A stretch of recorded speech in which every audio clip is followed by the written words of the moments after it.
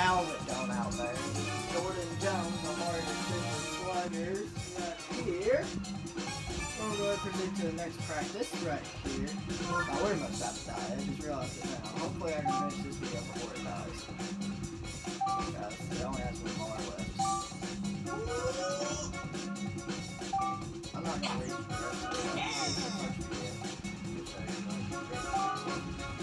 basically, whenever you see the flying, when you swing your wheel. This cartridge.